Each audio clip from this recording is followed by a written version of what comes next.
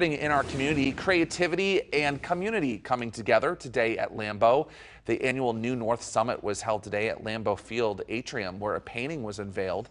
The piece was created by a Haitian-born artist, Gregory Frederick, and the painting is filled with elements that showcase Northeast Wisconsin, uh, some of the best parts of it, like biking, football, and of course, cheese.